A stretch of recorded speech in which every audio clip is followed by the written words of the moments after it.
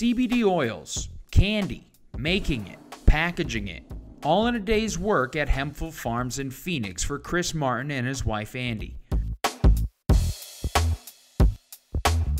Then this is production where we do dog treats, we do all the packaging. But maybe not many would have gone back to a business that almost cost them everything. Uh, on my record right now, I have 15 total felony convictions from 1996 to now, and uh, it is all pot related. Martin is a tough looking dude, tatted up, and a biker, but with a soft side. He was a medical marijuana trailblazer about a decade ago. Using THC to treat his own Crohn's disease, he started making Zonka bars, a big name in the marijuana edible game. He started selling the infused candy to compassion clubs, people looking for medical relief with THC but who didn't want to smoke. The problem? He wasn't partnered with a licensed dispensary. The police came knocking. It was all police, it was uh, four jurisdictions, and guns held in my kids' faces for a plant that is supposed to save my life. His status as an ex con meant he could have faced life in prison. The edibles entrepreneur says he was caught up in trumped up charges stemming from the war on drugs. The father of five fought the charges and ended up serving two and a half years in prison. But I make it mandatory that we write these people. Um, I don't want them to feel lost or forgotten. Meeting other people who had their lives totally upended by marijuana charges. He changed his business model to focus on CBD oils and not full scale medical marijuana. But despite the turnaround, the injustice for him remains. I've been here 46 years on this planet and I've never been able to vote.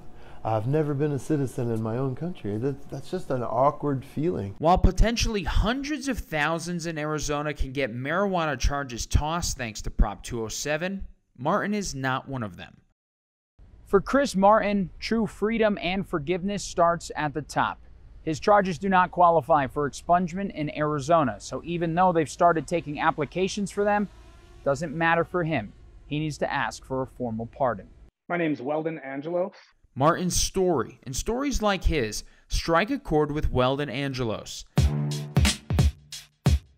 Angelos is a Utah based music producer and cannabis entrepreneur himself, but he faced 55 years in prison back in 2004.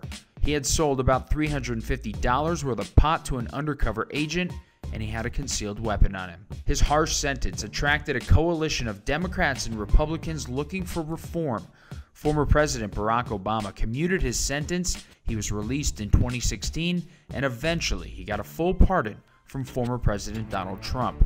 He now helps people like him seek pardons from their state governors, and a laundry list of some of the biggest names in hip hop joined him seeking reform at the federal level where marijuana is still a crime. What really gets me is that today, these corporations and, and entrepreneurs are violating federal law but becoming millionaires where other people, you know, like Chris, like myself, uh, you know, like Luke Scarmazzo, are going to prison for it and becoming felons for doing the same thing, both violating the same federal statute.